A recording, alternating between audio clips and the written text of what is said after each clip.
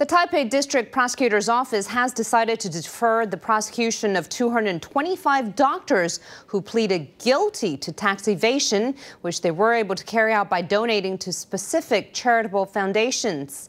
Education Minister Wu Se-hwa said the organizations in questions will be disbanded if found guilty.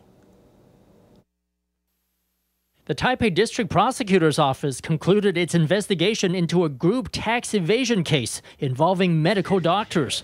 Prosecutors believe physicians evaded taxes by making donations to two charitable foundations, Siyuan and Chenghan, which served as fronts. The foundations then return nearly all of the previously donated funds to the doctors as research grants minus a 5% administration fee. A total of 200 million NT was donated to the foundations over four years, leading to tax evasion of 78 million NT.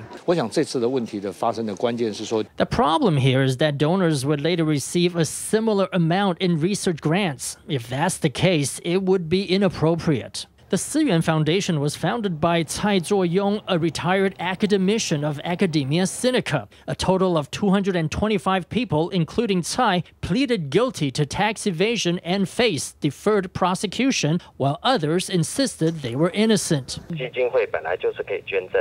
it is legitimate for foundations to accept donations. It's something the government encourages, but it also generates legal problems. It's not something we could anticipate.